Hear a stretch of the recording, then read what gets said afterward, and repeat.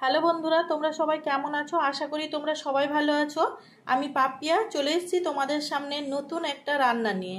আজকে আমি বানিয়েছি চিকেন চাউমিন। এই চিকেন চাউমিন রেসিপিটা দেখতে যেমন সুন্দর হয়েছে, চাউমিনগুলো খুব ঝরঝরে হয়েছে। এই এত সুন্দর চিকেন চাউমিনটা আমি কীভাবে রান্না করেছি, চলো দেখে নিই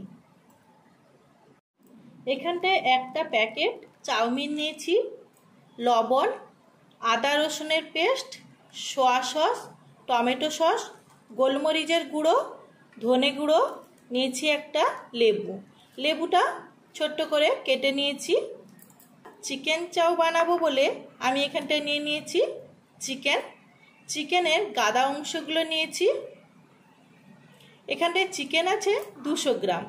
ফার্স্ট আমি চিকেনটাকে ম্যারিনেট করে নেব। চিকেনের মধ্যে দিয়ে দেব পরিমাণ মতো লবণ। এখানটায় আদা রসুনের পেস্ট আছে, দু চামচ, পুরোটাই দিয়ে দেব। গোলমরিচের গুঁড়ো, এক চামচ, দিয়ে দিচ্ছি পুরোটা। এখানটায় আমি শুকনো লঙ্কা যেহেতু দেব না, তাই গোলমরিচটা একটু বেশি পরিমাণে দিলাম। এক চামচ দিচ্ছি ধনে গুঁড়ো। সোয়া সস দেব, এক চামচ পরিমাণ।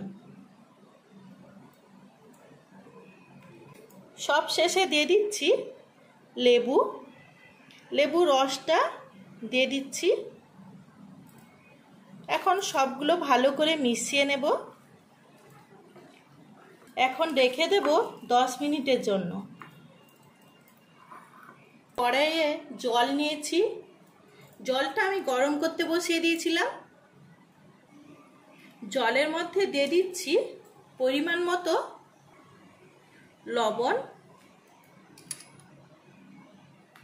লবণটা দেওয়ার পর জলটা আরও ভালো করে ফুটিয়ে নেব। জলটা অনেকটাই ফুটে গেছে। এখন ওর মধ্যে দিয়ে দেব দু চামচ সাদা তেল। সাদা তেলটা দেওয়ার পর জলটা আবারও কিছুক্ষণের জন্য ফুটিয়ে নেব।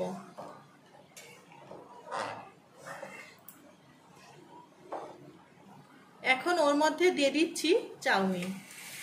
চাউমিনটা দেওয়ার আগে অবশ্যই জলটাকে ভালো করে ফুটিয়ে নিতে হবে। এতে করে চাউমিনটা খুব সুন্দর একটা সেদ্ধ হবে।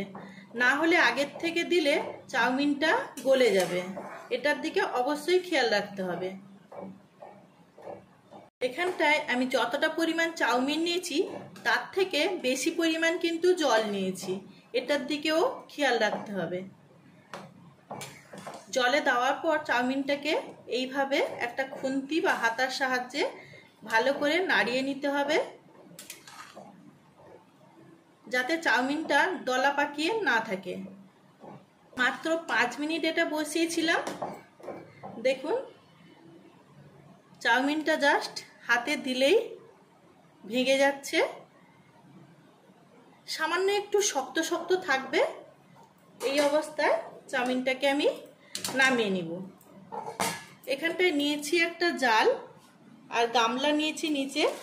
এখন এটা ছেঁকে নিচ্ছি। এখন নিচে গরম জলটা ফেলে দেব। গামলায় যে গরম জলটা ছিল, ওটা ফেলে দিয়েছি। এখন চাউমিনটা নিয়েছি। চাউমিনে নর্মাল জল দিয়ে দিতে হবে। দেরি না করে অবশ্যই নর্মাল জলটা দিয়ে দিতে হবে।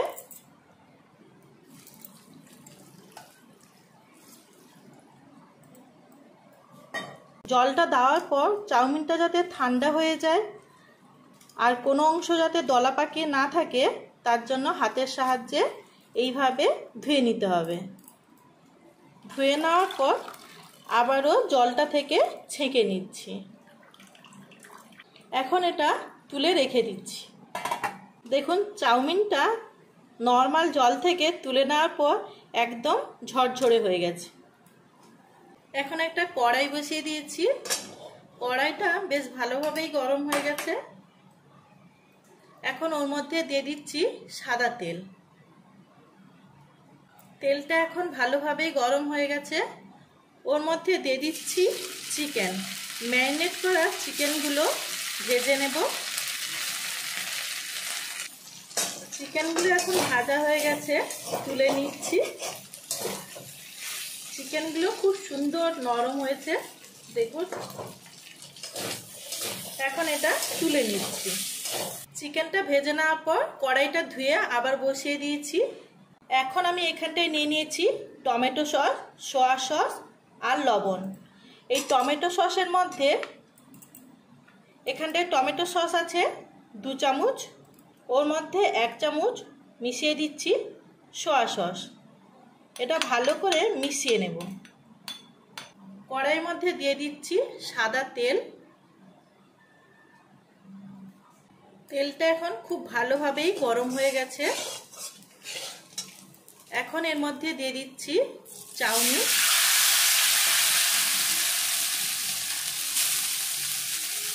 চাউমিনটা আমি হাফ পরিমাণে দিলাম। হাফ পরিমাণ দেওয়ার পর এটা ভালো করে ভেজে নিচ্ছি। চাউমিনটা কড়ার মধ্যে দেওয়ার পর চাউমিনটা অনেকটা পরিমাণ তুলে এইভাবে হালকা হালকা করে নাড়িয়ে চাউমিনটা ছাড়তে হবে। এখন আমি আবার হাফ পরিমাণে রেখে দেওয়া চাউমিনটা অল্প অল্প পরিমাণে দিয়ে দিচ্ছি। দেওয়ার পর আবারও মিশিয়ে নিচ্ছি। এখন আমি চাউমিনের মধ্যে দিয়ে দিচ্ছি চিকেন। চিকেনটা চাউমিনের সঙ্গে মিশিয়ে নেব। এখন এই চাউমিনের মধ্যে দিয়ে দিচ্ছি সোয়া সস, টমেটো সস।